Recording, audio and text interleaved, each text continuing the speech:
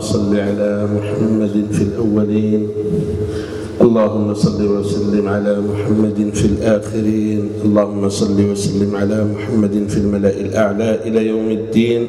أما بعد نبدأ في هذه الصبيحة المباركة بباب جديد من أبواب العشماوية للعلامة العشماوي رحمه الله تعالى.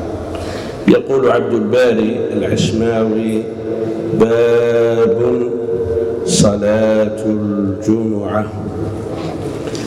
خص صلاة الجمعة بباب مستقل لأن هذه الصلاة العظيمة تختص بأحكام خاصة وبشروط خاصة. ولذلك خصها العلماء بباب منفرد. يقول العشماوي وصلاة الجمعة فرض على الأعيان. بدأ في بيان حكم صلاة الجمعة. فصلاة الجمعة فرض على الأعيان يعني أن الله عز وجل خاطب كل شخص بعينه.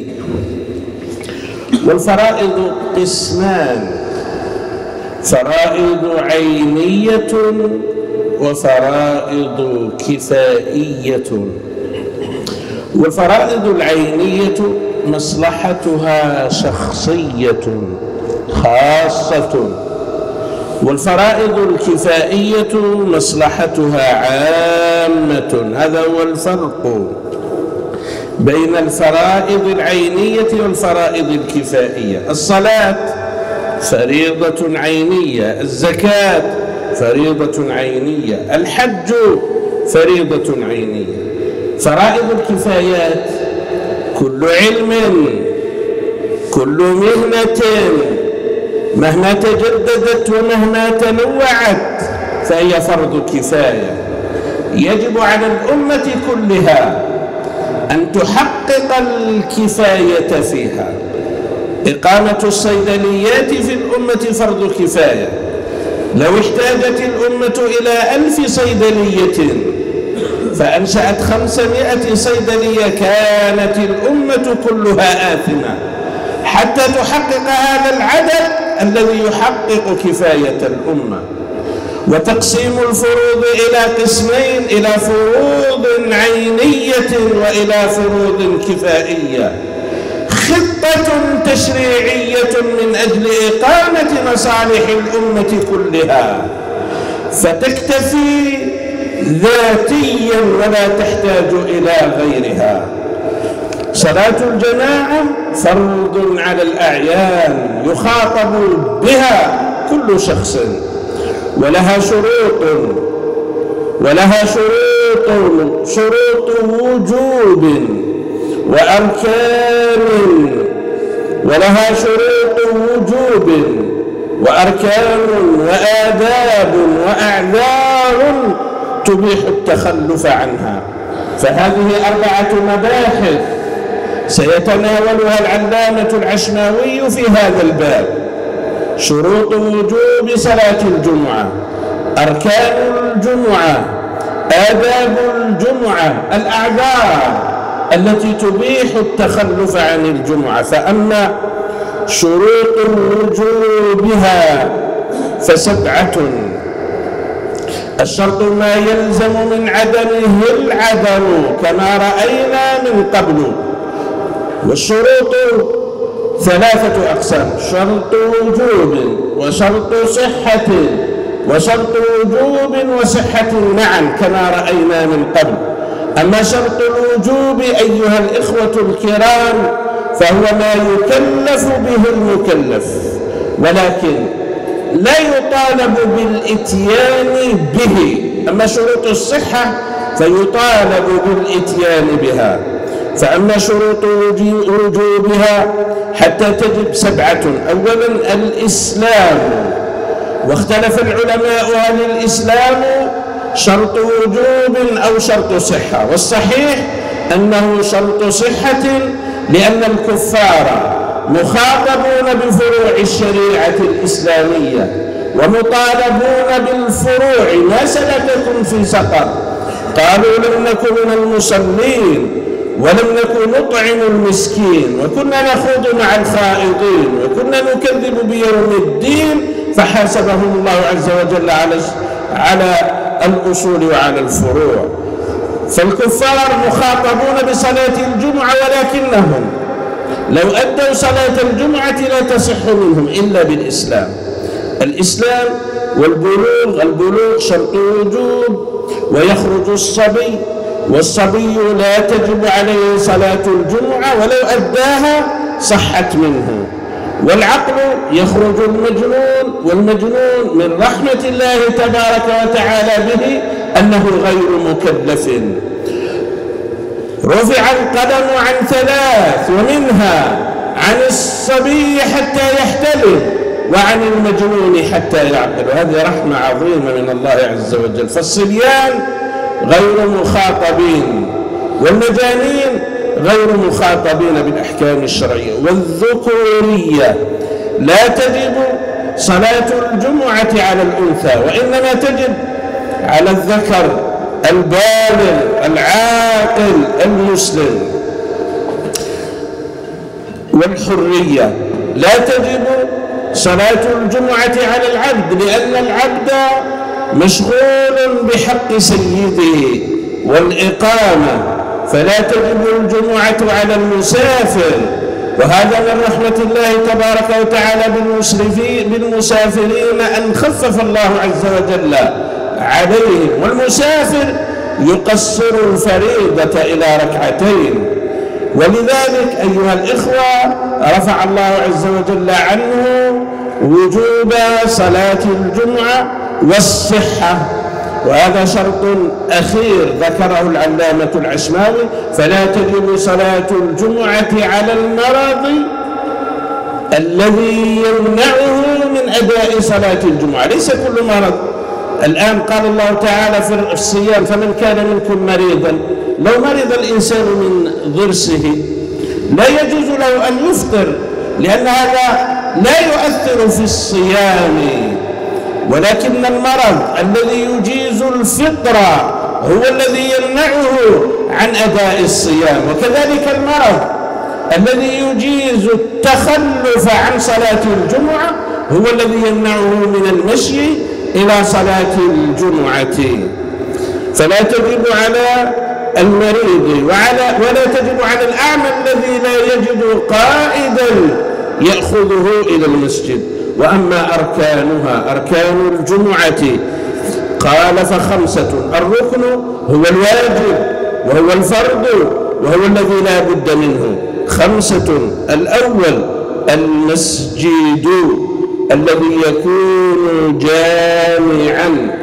فلا يجوز أن تصلى صلاة الجمعة في البيوت ولا في الصحراء ولا في الخلاء.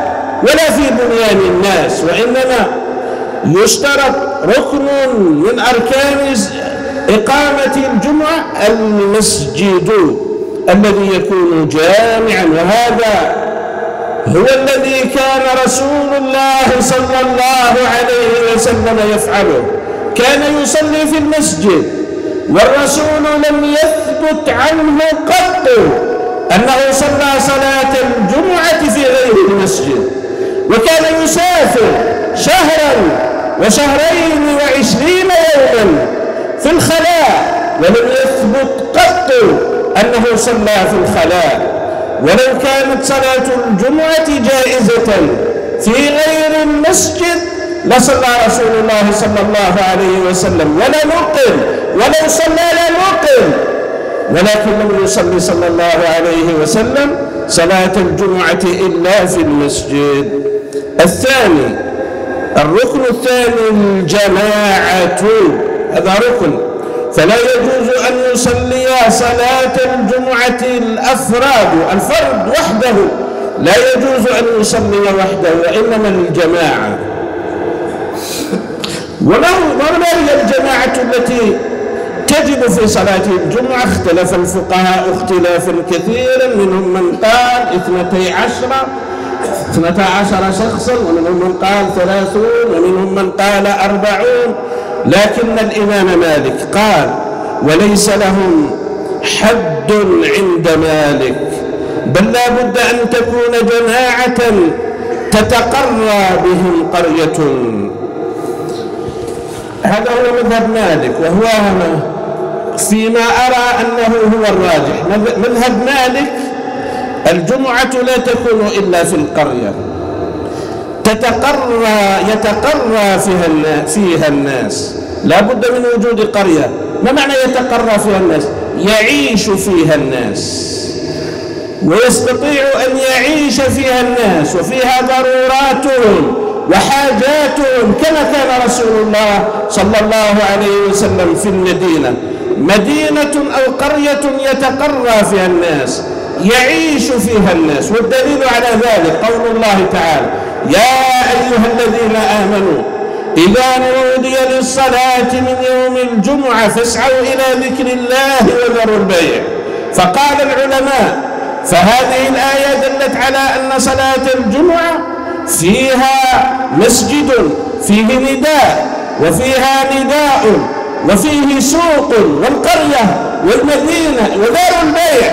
هي التي تكون في يكون فيها السوق ويكون فيها الناس ويتقرى فيها الناس. ولذلك قال مالك ليس لهم حد. المهم أن توجد قرية أن توجد مدينة فيها سوق فيها مسجد يعيش فيها الناس في تلك القرية فتلك القرية هي التي تجب فيها صلاة الجمعة. ورجح بعض أئمتنا أنها تجوز باثني عشر رجلا باقين لسلامها. بعض العلماء قالوا يشترط هذا العدد اثنتا عشر واستدلوا بقول الله تعالى وإذا رأوا تجارة أو لهوا انفضوا إليها وتركوك قائما. انفض الناس.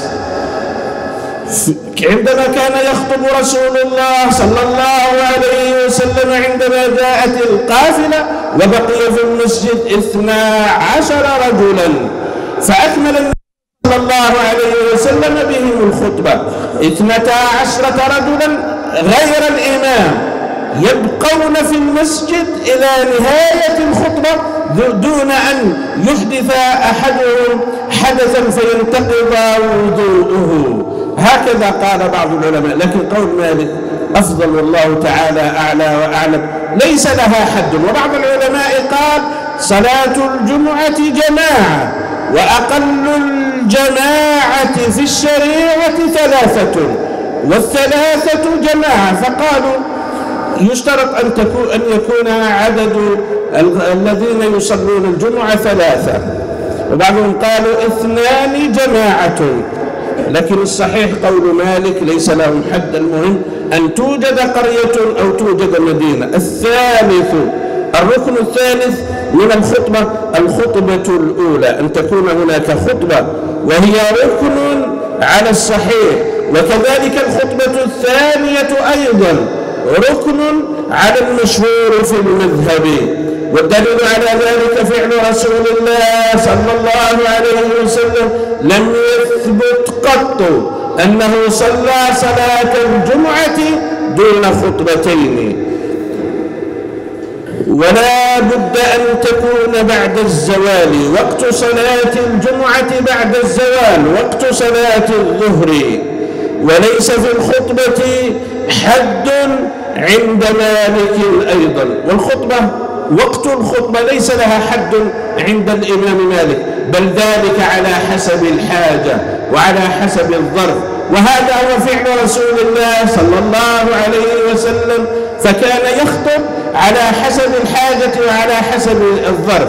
في الحج أيها الإخوة قام رسول الله صلى الله عليه وسلم كما ثبت في الحديث الصحيح فخطب خطبة طويلة من الصبح إلى الظهر ثم صلى الظهر ثم قام فخطب. إلى العصر ثم صلى العصر ثم خطب إلى صلاة المغرب.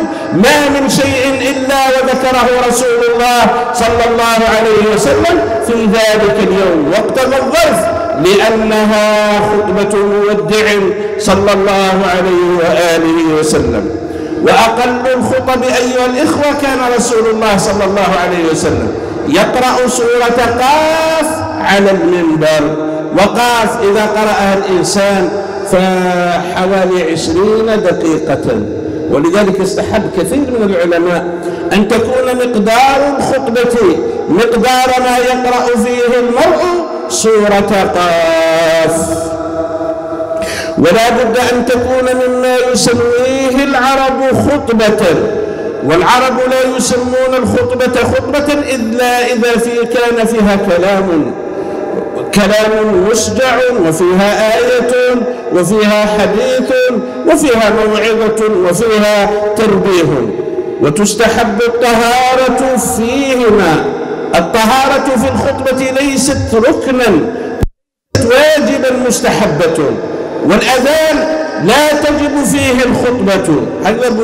لا تجب فيه الطهارة.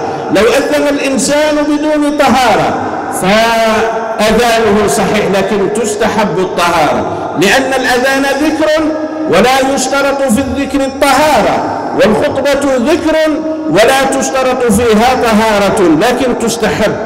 وفي وجوب القيام لهما تردد. هل يجب على الإمام أن يقف قائما في الخطبة؟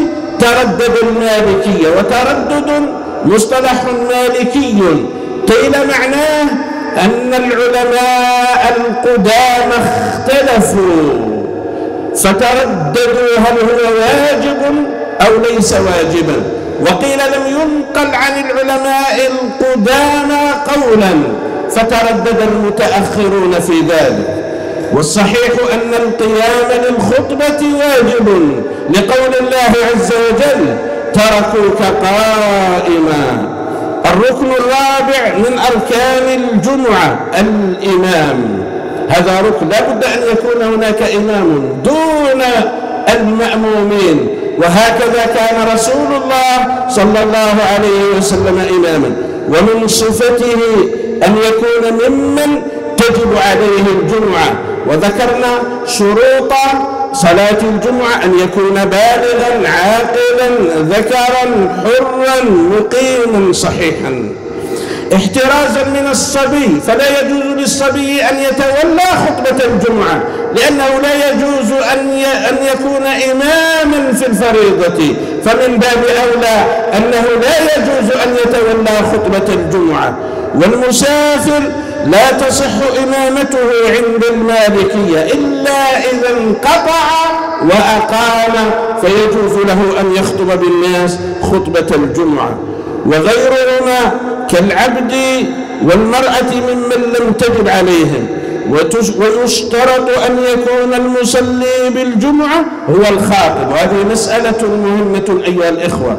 عند المالكية. الخطيب هو الذي يصلي بالناس صلاة الجمعة. هذا شرط هذا شرط أو واجب عند المالكية. لا يجوز عند المالكية أن يخطب أحد وأن يتولى الصلاة آخر. وعند الشافعي يجوز أن يخطب أحد وأن يتولى الصلاة آخر. لكن عند مالك لا يجوز. قال مالك لم يثبت قط أن رسول الله صلى الله عليه وسلم خطب ثم ولى آخر صلاة الجمعة بل كان هو الخطيب وكان هو الإمام في صلاة الجمعة وقال رسول الله صلى الله عليه وسلم صلوا كما رأيتموني أصلي.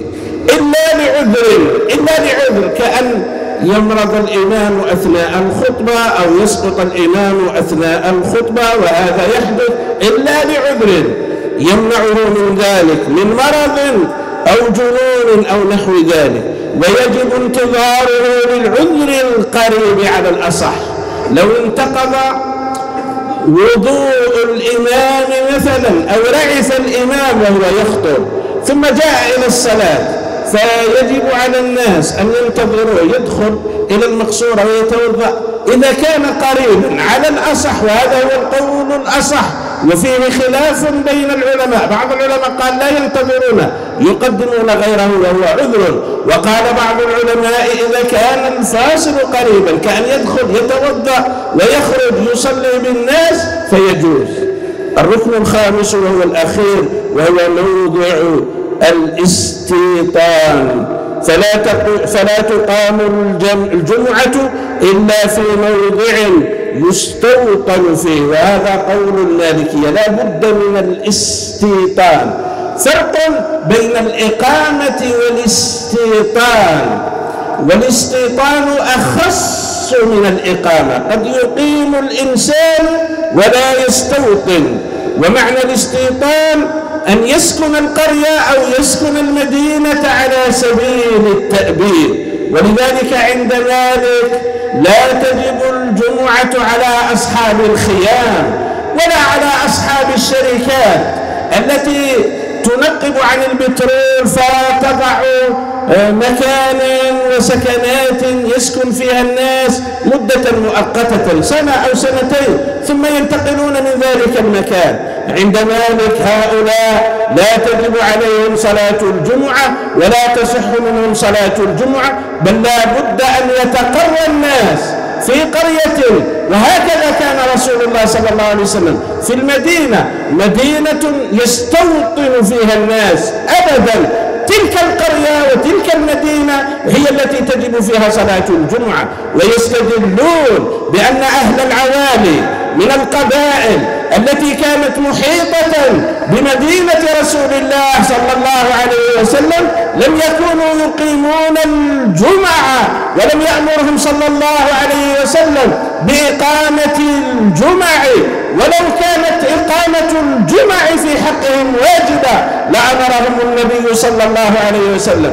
كيف يتجشمون المجيء إلى مسجد رسول الله صلى الله عليه وسلم ثم يرجعون إلى خيامهم وإلى قبائلهم. لو كانت جائزة لأمرهم النبي صلى الله عليه وسلم. ولذلك أقول أيها الإخوة بعض الناس يتساهل ويرجح ويقول يجوز إقامة الجمعة في البيوت ويجوز إقامة الجمعة في المخيمات. شباب يذهبون إلى المخيمات في البحار فيصلون في المخيمات صلاة الجمعة. هذا باطل وهذا لا يجوز عند المالكية. ولم يثبت قط أن رسول الله صلى الله عليه وسلم كان يصلي صلاة الجمعة أثناء السفر وكان يسافر في عشرين يوما وشهرا. وإنما كان صلى الله عليه وسلم يقيم صلاة الجمعة في المسجد وفي مكان في قرية وفي مدينة يستوطن فيها الناس. فلا تقام الجمعة إلا في موضع يستوطن فيه ويكون محلا للإقامة يمكن المثوى فيه بلدا كان أو قرية. والسلام عليكم ورحمة الله وبركاته.